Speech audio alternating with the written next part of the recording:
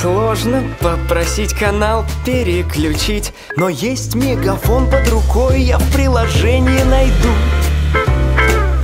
То, что мне надо Узнай прямо сейчас, что ждет именно тебя в приложении Мегафон.